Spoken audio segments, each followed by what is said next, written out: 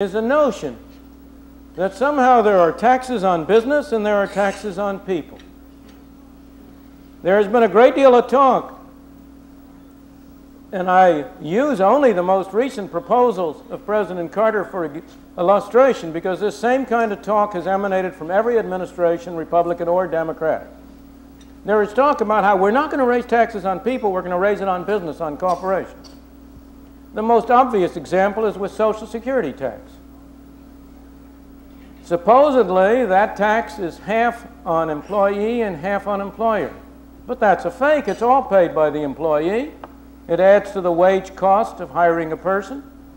If an employer has to pay in addition to a wage, what is it currently? Close to 7%, uh, 6% of the wage?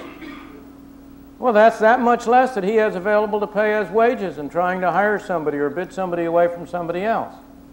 But more fundamentally, businesses can't pay taxes.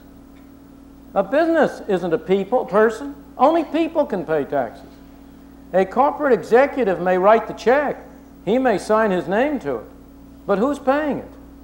It either comes from the customers, or it comes from the workers, or it comes from the stockholders. Where else can it come from?